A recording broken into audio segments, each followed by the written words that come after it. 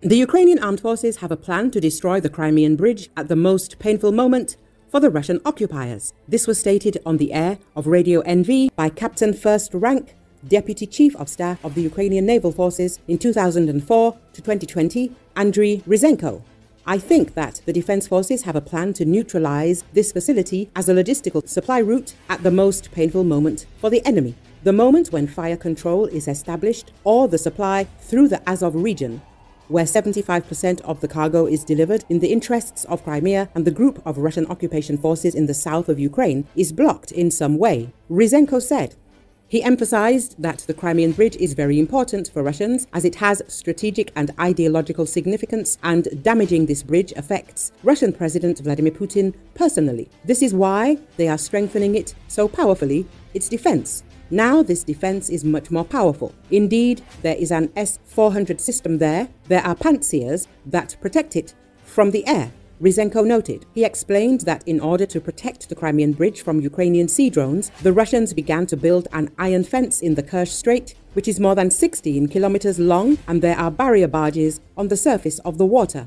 In fact, 500 meters remain free. This is the shipping part of the canal. Everything else is closed with structures, and indeed, they are actually fixed to the seabed so that underwater drones cannot pass. They are forced to do this because they analyze the threat and really do not want us to attack this bridge, the expert said. In addition, Ryzhenko explained why the Russians sent warships to sea. I understand that this is primarily due to the fact that the enemy may have had some information that some strike actions are being prepared against these ships. Of course, they are dedicated to October the 8th of 2022. They remember that two years ago there was an attack on the Crimean Bridge. First of all, I simply associate this with security issues. Ryzhenko said,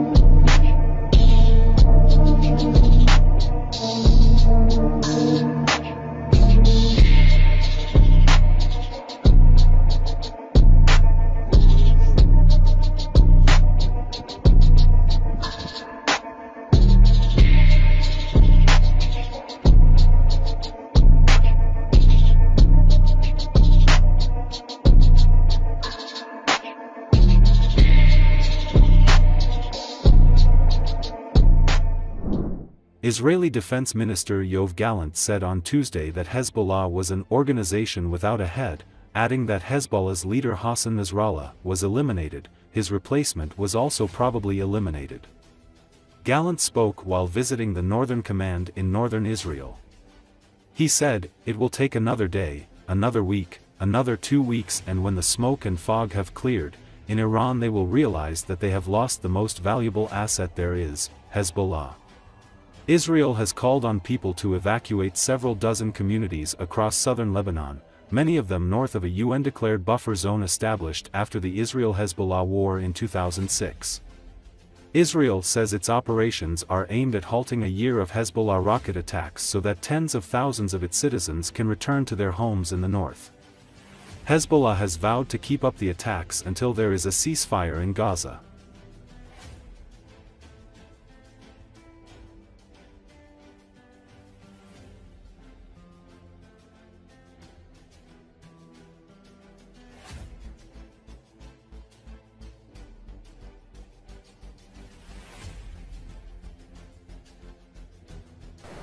למעשה, כשאני מסתכל על התמונה, חיזבאללה זה ארגון בלי ראש.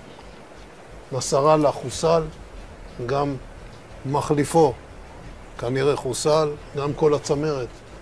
עקיל, מוחסן, קרקי וגם כל מה שמתחת. לדבר הזה יש השפעה דרמטית קודם כל על כל מה שקורה.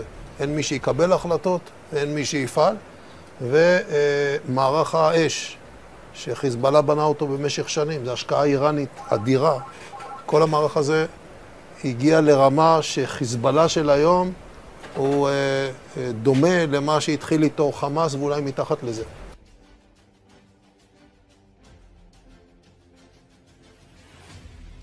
והפעולות שאנחנו עושים נצפות בכל רחבי המזרח התיכון.